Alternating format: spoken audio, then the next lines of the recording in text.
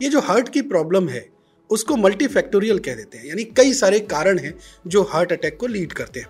ये क्या क्या कारण हो सकते हैं?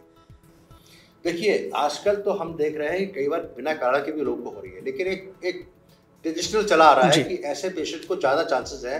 देखिए ओवरऑल इंसिडेंस हार्ट अटैक की रादर कॉर्नरी आर्टरी डिज़ीज़ की यानी कॉर्नरी आर्टरी के अंदर ब्लॉकेज होने की संभावना 10 से 12 परसेंट के पूरे प्रिविलेंस और इंसिडेंस दोनों। हम्म। यानी कि 100 करोड़ में 10 करोड़ को हो जाएगी any lifetime which is huge number actually जो 40 करोड़ में तो 14 करोड़ हो गया बहुत हो गया।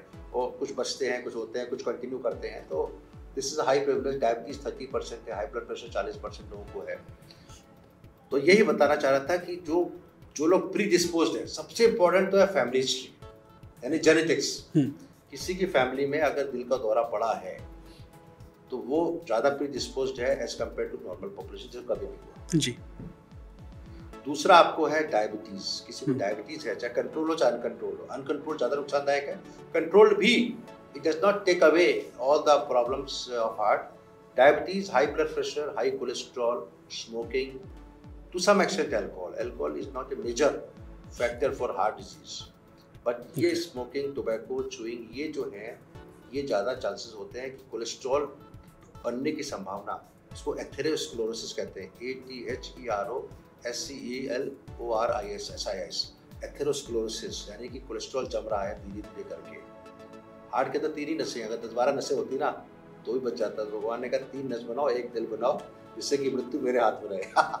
हार्ट वाली वो अलग बात है। चलिए दर्शन अनदर स्टोरी मैं होता भगवान के साथ बैठा होता बन जब जब तैयारी हो रही होती ना जी। तो मैं चार दिन लगाया था हमने सबसे बड़ा पंप है यार चार दिन का एयरक्राफ्ट रहेगा ना?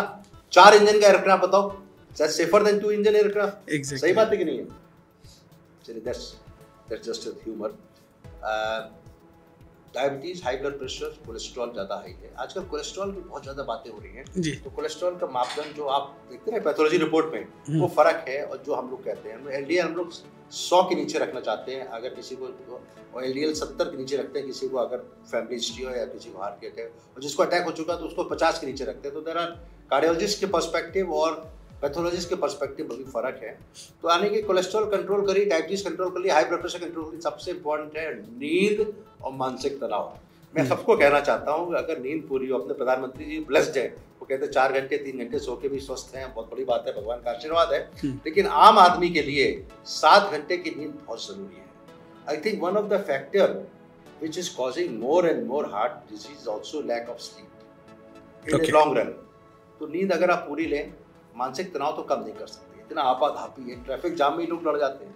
कैसे भूल रहे हैं? आप देख रहे हैं जाम हुआ, इधर रिक्शे वाला, उधर उतरा उधर उतरा। This is unusual I mean something we have to do something for the mental peace के लिए मेरे ख्याल से अनिवार्य हो जाना चाहिए। अच्छा बच्चे के स्कूल पाँचवें क्लास का बच्चा है, उसको इतना होमवर्क मिल जाता है। What is the need we need to change curriculum I was talking to one minister yesterday without naming हमने कहा एजुकेशन मिनिस्टर जो अगर मैं बन जाऊँ या मैं बनने का एडवाइजर हो जाऊँ तो मैं कम से कम सबसे पहले कम करूँगा करिकुलम कम करूँगा। आप क्या पढ़ा के बच्चे करोगे जब दिल की बीमारी चालीस साल की हो जाती है, तीस साल पे तो ये एक curriculum stress is very important stress management ये कहना कि आप योगा करिए, yoga is more of physical exercise meditation करिए, बहुत मुश्किल है। आप आम ज़िंदगी को इम्प्रूव करिए क्वालिटी ऑफ़ लाइफ इम्प्रूव करिए। तो ठीक होगा बाकी सबको पता है डायबिटीज़ कंट्रोल करनी सबको पता है हाई ब्लड प्रेशर कंट्रोल करना है सबको पता है कोलेस्ट्रॉल कम करना है सबको पता है कि आप अच्छे नींद लेकिन ये कम लोग पता है कि नींद पूरी होनी चाहिए और मानसिक तनाव कैसे कम करेंगे मेरे पास इसमें क्लियर कट आंसर नहीं है। I have to become one of the minister of of stress management होने चाहिए होनी चाहिए। आई वो प्रपोज मैं अदर आदरणीय प्रधानमंत्री जी को बोलूँ कि बहुत प्रोएक्टिव आदमी है हमारे नरेंद्र मोदी जी से बड़ा प्रोएक्टिव आदमी देखा नहीं वो जनता के लिए काम कर रहे हैं। तो मैं चाहूँगा कि एक मिनिस्ट्री ऑफ़ स्ट्रेस मैनेजमेंट करते हैं। हेल्थ मिनिस्ट्री अलग है। हेल्थ को तो बहुत चीज़ देखनी है।